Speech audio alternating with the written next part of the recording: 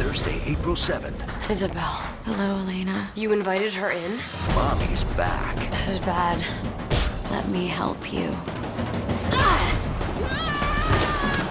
You showing up changes everything. The Vampire Diaries. New episodes return Thursday, April 7th on the CW.